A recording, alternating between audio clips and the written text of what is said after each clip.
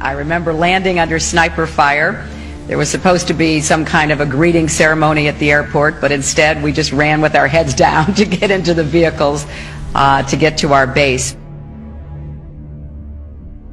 Her arrival in Bosnia was not quite as dramatic as Clinton put it. Memory should always match the videotape. Sharyl Attkisson, CBS News, Washington.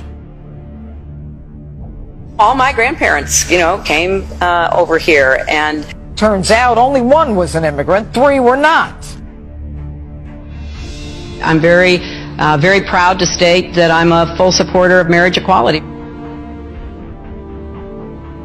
I believe that marriage is not just a bond, but a sacred bond between a man and a woman. I do not support gay marriage. The server contains uh, personal communications from my husband and me. The server um, will remain uh, private. I only time I got on the internet, I did two emails. Otherwise, I didn't want to be one of them. I have been a critic of NAFTA from the very beginning. Frequent favorable comments about NAFTA, including this one in 1996.